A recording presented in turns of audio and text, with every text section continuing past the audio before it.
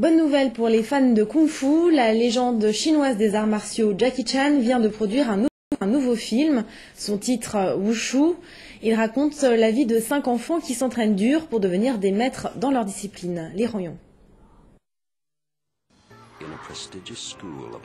Le film a été tourné dans une véritable maison d'arts martiaux et l'on y découvre la maîtrise martiale de compétiteurs plusieurs fois récompensés.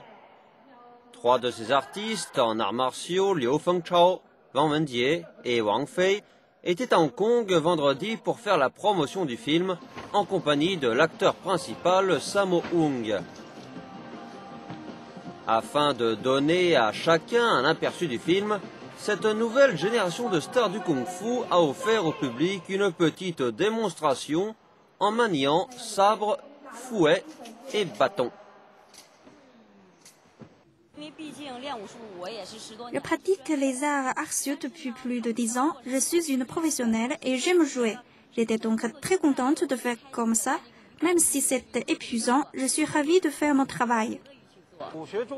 Installé dans une partie reculée de la Chine, Sammo Hung, qui a commencé sa carrière de film d'action avec Jackie Chan, interprète le maître de Kung Fu.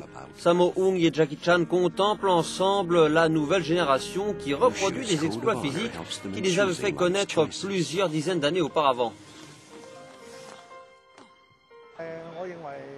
L'opportunité est cruciale, car un film d'action n'est pas conventionnel. Il y a une plus grande opportunité pour une star de se faire connaître à travers un film d'action.